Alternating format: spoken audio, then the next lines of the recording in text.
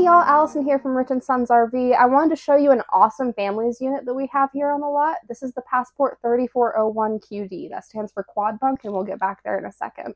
But first I want to show you this awesome kitchen that they really didn't leave anything out of. So first you have this great fold-up countertop which really maximizes your counter space in here and it allows you to still be able to feel like you're working in the kitchen but when you need to collapse it down and all the kids are running through you still have space for that too. You also have this amazing dining setup. As you can see right now, it probably looks a little weird to you. That's because they have this set up to where you can pull some cushions out of here and flip this right over. It either opens you up more dining space or when everybody's relaxing and watching TV in the evening, you can just flip that right back over, put your cushion back in, and suddenly you've opened up a whole new world of couch space that you didn't have before.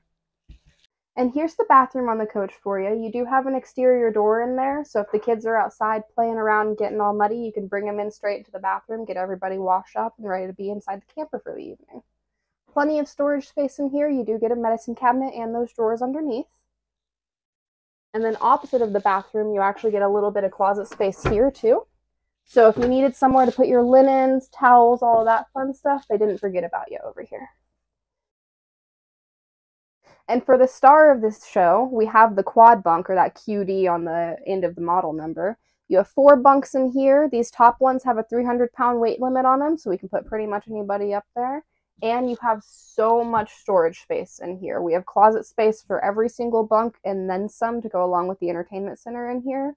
We really have enough space for if we have a bunch of kiddos going along, you have room to put them in here. They can play in here, entertain themselves, and stay out of the way while you're cooking dinner or trying to get something ready out there.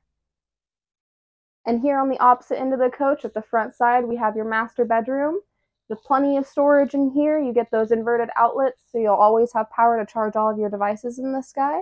And if you uh, have any interest in looking at this or any other bunk models we have out here on the lot, feel free to stop out and see me. My name's Allison, and I'll be happy to help you.